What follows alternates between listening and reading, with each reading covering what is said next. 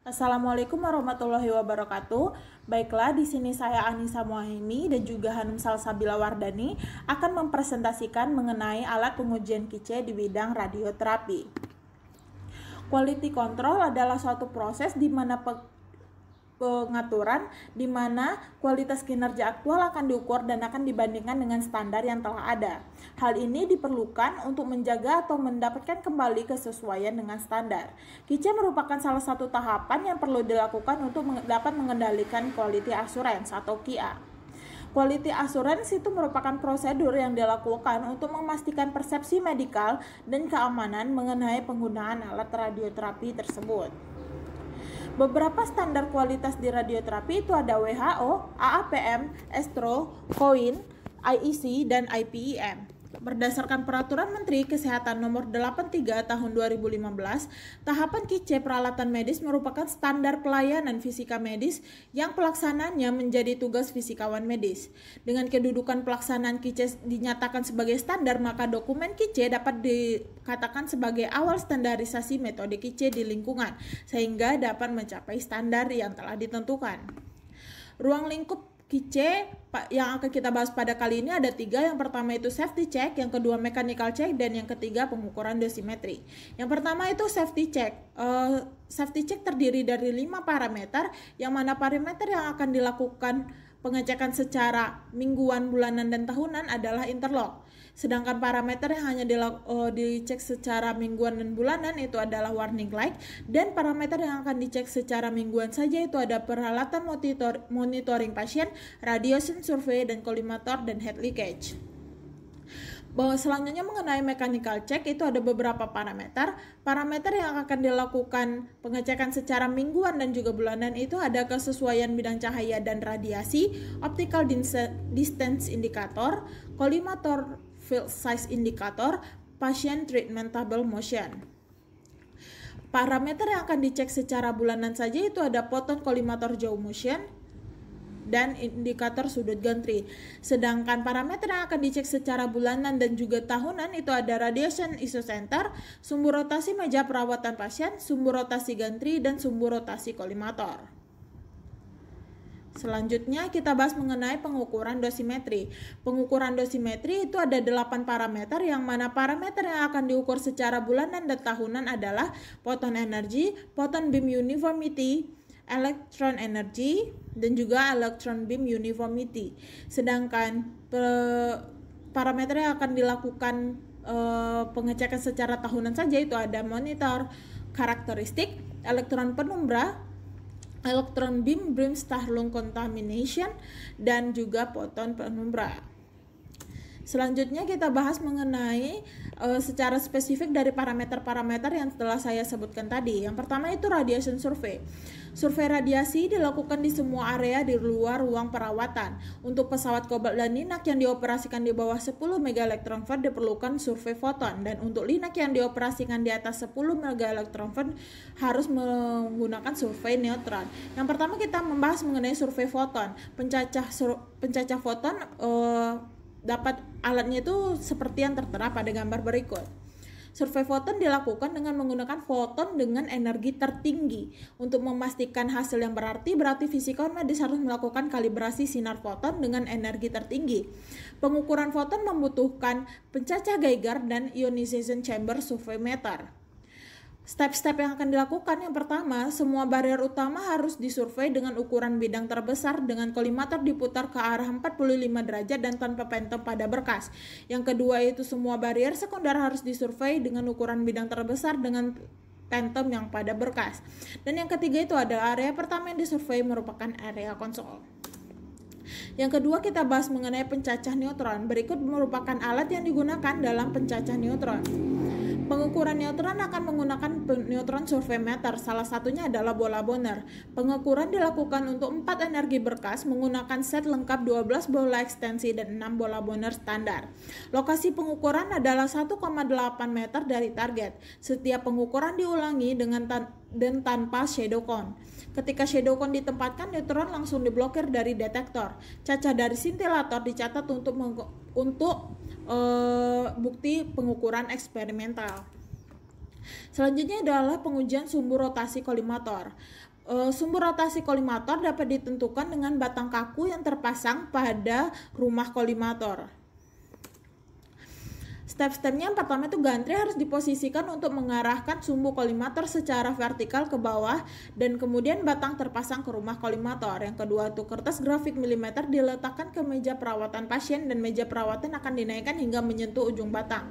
Yang ketiga itu adalah dengan batang yang terpasang yang kaku maka kolimator diputar sesuai dengan rentang geraknya. Selanjutnya ujung batang disesuaikan agar dekat dengan pusat busur. Proses ini dilanjutkan hingga diperoleh radius minimum busur yang memberikan memberikan indikasi ketepatan sumbu rotasi kolimator. Selanjutnya itu adalah poton kolimator jauh motion. Dial indikator digunakan untuk memverifikasi simetri foton kolimator jauh. Indikator dipasang ke suatu titik pada rumah kolimator yang tetap stasioner selama rotasi kolimator jauh. Indikator dikontakkan dengan satu jauh dan pembacaan dicatat. Kolimator kemudian diputar hingga 180 derajat dan indikator dikontakkan lagi dengan jauh. Untuk memeriksa apakah dua set kolimator saling tegak lurus yaitu dengan cara gantri diputar untuk mengorientasi sumbu rotasi kolimator secara horizontal. Spirit level ditempatkan pada jauh untuk memverifikasi bahwa itu benar-benar horizontal. Lalu spirit level digunakan untuk memverifikasi bahwa jauh yang diposisikan secara vertikal ini benar-benar vertikal. Selanjutnya itu adalah congruence of light and radiation. Kesejajaran bidang cahaya itu diverifikasi dengan menggunakan kertas grafik milimeter diletakkan pada meja perawatan pasien. Meja tersebut dinaikkan ke arah jarak nominal isocenter. Gantri diarahkan untuk mengarahkan sumbu rotasi kolimator vertikal ke bawah. Yang selanjutnya itu adalah kesesuaian bidang cahaya dan radiasi dapat diverifikasi dengan uh, sebuah film radiografi ditempatkan tegak lurus terhadap sumbu rotasi kolimator, tapi bidang cahaya ditandai dengan benda radio opek atau dengan melubangi dengan pin melalui film di sudut bidang cahaya. Selanjutnya adalah tes ini seharusnya diulangi uh, pada rentang ukuran bidang dan pada jarak dua pada dua jarak yang berbeda untuk memverifikasi bahwa sumber cahaya dan foton virtual adalah jarak yang sama dari isosenter. Dan yang terakhir pada penjelasan saya adalah sumber rotasi gantri. Sumber rotasi gantri dapat dilakukan dengan batang kaku yang memiliki kemampuan teleskoping. Sumbu dari front pointer harus disejajarkan di sepanjang sumbu kolimator rotasi dan ujungnya harus berada pada jarak nominal isosenter. Gantri diposisikan pada titik sumbu pusat berkas secara vertikal ke bawah. Meja perawatan kemudian digeser sepanjang sumbu, sumbu longitudinalnya untuk memindahkan ujung batang dari kontak dengan batang yang dilekatkan pada gantri. Perlu diperhatikan untuk tidak mengubah posisi vertikal atau lateral pada batang. Gantri diputar sehingga 180 derajat dan meja perawatan dipindahkan kembali ke posisi di mana dua batang tadi bersentuhan. Jika front pointer menunjukkan dengan benar jarak isocenter ujung pada ujung pada kedua batang harus bersentuhan dengan posisi relatif yang sama di kedua sudut uh, ujung tersebut. Jika tidak, tinggi meja perawatan dan panjang front pointer disesuaikan sampai kondisi ini harus uh, dicapai sedekat mungkin atau dengan kata lain dengan error seminimal mungkin. Uh, selanjutnya parameter-parameter uh, yang lain akan dibahas oleh teman saya Hanum. Assalamualaikum warahmatullahi wabarakatuh. Di sini saya akan melanjutkan pembahasan mengenai alat pengujian quality control di bidang radioterapi. Pengukuran yang selanjutnya yaitu isosenter radiasi. Pengukuran ini sangat diperlukan karena isosenter itu menentukan area yang teriradiasi. Verifikasi dari radiasi isosenter ini bertujuan untuk uh, menentukan diameter dari berkas. Metode yang dilakukan yaitu Readipack film ditempel pada salah satu plastik blok yang terdiri dari phantom plastik dan film tersebut harus ditempatkan tegak lurus dan berpusat pada sumbu rotasi gantri. Kemudian dibuat lubang pin pada film untuk menunjukkan sumbu rotasi gantri. Kemudian blok kedua ditempelkan pada film sehingga film berada di antara dua blok. Kemudian kolimator jauh ditutup sekitar 1 mm kali 1 mm. Film ini kemudian dipapar untuk menghasilkan optical density 0,3 hingga 0,5. Kemudian tanpa disentuh. Film ini dipaparkan kembali dalam uh, berbagai posisi atau sudut gantry. Hasil yang didapatkan seperti akan seperti ini. Ini yang dinamakan dengan metode star shot. Ini adalah skema dari uh, metode star shot. Dapat dilihat di sini uh, pengukuran dilakukan dalam berbagai sumbu orientasi. Kemudian pengukuran yang selanjutnya yaitu optical distance indicator atau OD. Uh, tujuan dari pengukuran ini yaitu untuk mengatur letak pasien dengan jarak tertentu dari sumber radioterapi.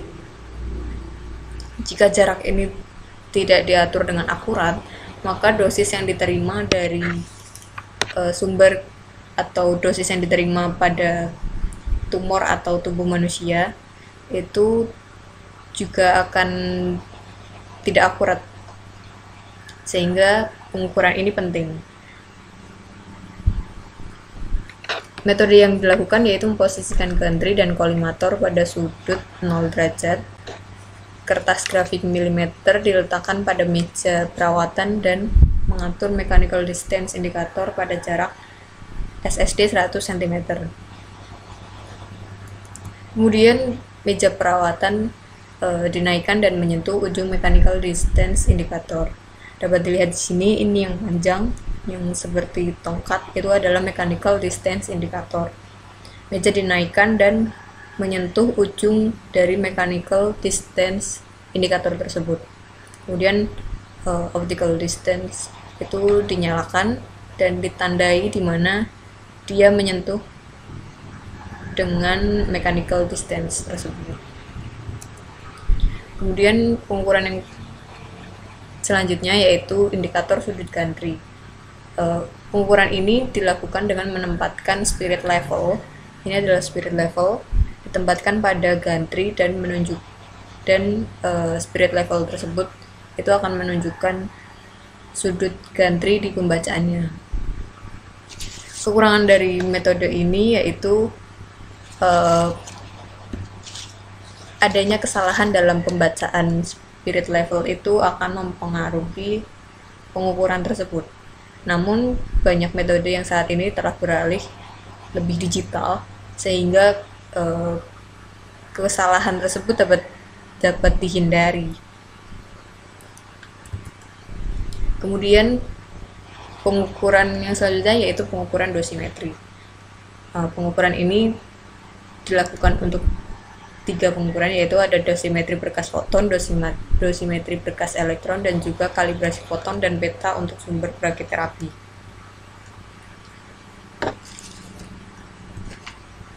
Uh, referensi klinis dosimetri dilakukan biasanya dilakukan di dalam phantom air. Yang pertama dosimetri berkas foton. Uh, dosimetri ini dilakukan untuk uh, mendapatkan modeling data untuk treatment planning system. Sehingga dosimetri ini penting untuk diketahui. Kemudian parameterisasi dari berkas foton seperti PDD, profil, dan faktor hemburan itu dapat digunakan untuk penentuan quality assurance yang lain. Seperti contohnya uh, photon uniformity atau electron uniformity kemudian metode yang dilakukan yaitu uh, dilakukan dalam berkas terbuka jadi tanpa tray, wedges, filter timbal ataupun blok dengan titik pengukuran ion chamber silinder ditempatkan pada kedalaman referensi yaitu pada kedalaman 10 cm yang setara dengan air di dalam phantom air. Teknik SSD atau SAD dapat digunakan dengan ukuran field 10 x 10 cm kuadrat. Saat menggunakan SSD, ukuran field ditentukan pada permukaan phantom, sedangkan pada SAD, ukuran field ditentukan pada posisi detektor yang ditempatkan pada kedalaman 10 cm dari isocenter mesin. Kemudian dosimetri berkas elektron eh, dilakukan dalam berkas terbuka juga pada kedalaman referensi yaitu eh, sumbu pusat cylindrical chamber atau permukaan depan rongga udara untuk plane parallel chamber. Untuk berkas dengan R50, R50 ini adalah kedalaman di mana dosis yang terserap itu turun hingga 50% dari dosis maksimum dengan field 10 kali 10 cm kuadrat atau lebih besar. Dengan R50 kurang dari 8,5 cm dan energi kurang dari 20 MeV, ukuran field yang digunakan itu 10 kali 10 cm kuadrat di permukaan phantom dan untuk sinar energi yang lebih tinggi digunakan 20 kali 20 cm kuadrat. SSD dapat digunakan 90 hingga 110 cm. E, berdasarkan metode Monte Carlo, perbedaan 10 cm ini tidak mempengaruhi pengukuran. Kemudian kalibrasi foton dan beta pada sumber brachytherapy. Pengukuran dilakukan dengan uh, lingkungan yang hemburan minimum. Kemudian letak chamber setidaknya 1 meter dari dinding atau lantai. Chamber yang digunakan di sini adalah well type chamber. Chamber dibiarkan setimbang dengan lingkungannya sebelum memulai kalibrasi. Waktu yang diperlukan agar chamber setimbang ini sekitar 30 menit. Kemudian dilakukan penyisipan sumber, uh, setidaknya dua penyisipan dan juga minimal 5 pengukuran untuk setiap penyisipan yang tidak meningkat atau menurun secara monoton. Untuk sumber high dose rate, pengukuran ini tuh harus dalam 0,3% dari pembacaan rata-rata dan rata-rata dari dua set pembacaan itu harus dalam 0,5%. Kemudian untuk beta partikel, pengukuran harus dilakukan pada berbagai dari orientasi sumber dan hasilnya di rata-rata. Kemudian penyisipan ganda juga dilakukan untuk lucid train yang, yang disalurkan dalam kateter. Dan ini adalah contoh alat yang digunakan untuk pengukuran e, berkas tadi ionometrik dosimetri ini biasanya digunakan bersamaan dengan phantom. Ionometrik ini terdiri dari elektrometer dan juga ionisasi chamber. Jenis-jenis ionisasi chamber itu ada yang timbal atau cylindrical, ada yang plane paralel. Kedua ini digunakan untuk uh, pengukuran berkas foton dan juga elektron. Kemudian ada well type chamber, ini untuk sumber brachytherapy. Kemudian tambahannya yaitu barometer dan termometer untuk pengukuran tekanan dan juga suhu. Kemudian ini adalah detektor semikonduktor, yaitu ada diamond detector dan juga dioda silikon. E, semikonduktor ini biasanya digunakan untuk dosimetri in vivo. Kemudian ada phantom, ya, ada phantom air dan juga slab phantom. Slab phantom biasanya terbuat dari plastik dan menyerupai air. Phantom ini digunakan uh, sebagai pengganti dari organ atau tubuh manusia. Jadi material yang tersusun itu menyerupai jaringan yang ada di tubuh. Kemudian alat terakhir yaitu constancy check. Ini untuk mengukur ketetapan output atau berkas untuk pengecekan harian. Ini juga merupakan constancy check uh, keduanya digunakan secara bersamaan untuk menentukan konstansi output. Sekian dari saya, ini adalah referensi yang saya gunakan untuk menyusun presentasi ini. Terima kasih. Wassalamualaikum warahmatullahi wabarakatuh.